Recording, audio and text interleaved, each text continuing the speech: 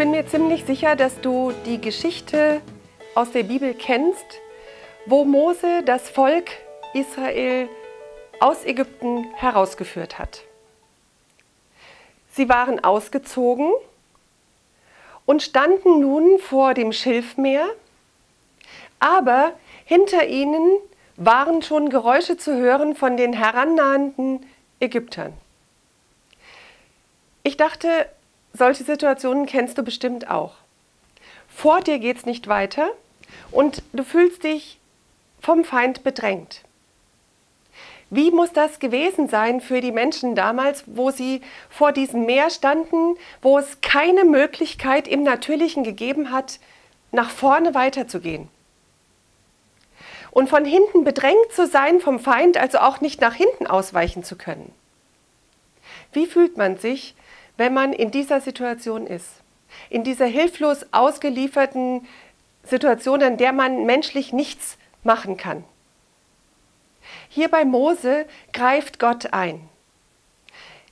Mose streckt seine Hand aus und das Meer teilt sich.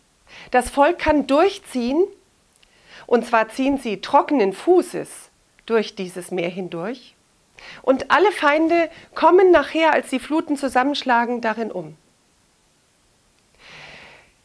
Siehst du, wenn du in Situationen stehst, wo du sagst, das ist wirklich unmöglich, dann will Gott kommen und sagen, hey, bleib stehen. So wie er es hier auch sagt in äh, 2. Mose 14, steht und seht die Rettung des Herrn, die er euch heute bringen wird. Siehst du, sie brauchten eigentlich nicht weiter zu suchen nach irgendwelchen anderen Möglichkeiten, sondern Gott hatte gesprochen, steht und seid still und seht, was ich tun werde. Der Herr wird für euch kämpfen, ihr aber werdet still sein. Der Herr wird auch für dich heute kämpfen. Das ist etwas, was er dir heute zuspricht. Wenn du vor einem Meer von Unmöglich stehst, und vom Feind von hinten bedrängt wirst, will der Herr dir heute sagen, steh still, steh in meiner Gegenwart, such mich, frage nach mir, höre auf das, was ich dir an Rat geben will. Und ich werde deinen Kampf führen. Ich werde einen Weg machen, wo du keinen siehst. Dieses Unmögliche und Gottes Möglichkeiten finden wir in ganz verschiedenen Bibelstellen wieder. Eine zum Beispiel in Jeremia 38, Vers 27. Siehe, ich bin der Gott allen Fleisches. Sollte mir ein Ding unmöglich sein? Oder in 1. Mose 18, Vers 14. Sollte für den Herrn eine Sache zu wunderbar sein?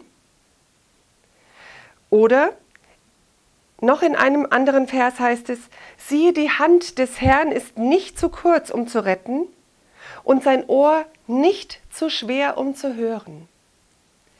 Der Herr hört auf dein Rufen, der Herr antwortet auf dein Gebet und der Herr führt deinen Kampf. Du sollst im Glauben an seine Größe, an seine Macht festhalten. Und du sollst warten auf die Rettung des Herrn. Wenn er sagt, streck deine Hand aus, wird sich dieses Meer vor dir öffnen und du wirst trockenen Fußes da durchgehen. Dem Herrn sind alle Dinge möglich. Und was er für Mose damals getan hat, für das Volk Israel, was er für Sarah getan hat, dem Herrn ist nichts so wunderbar.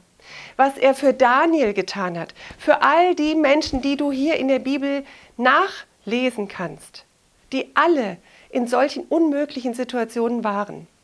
Das will er heute für dich tun. Sei still und sieh die Rettung des Herrn. Er wird für dich kämpfen. Und ich weiß, Gott hat da ganz viel für dich, was er dir offenbaren möchte, was er dir zeigen möchte.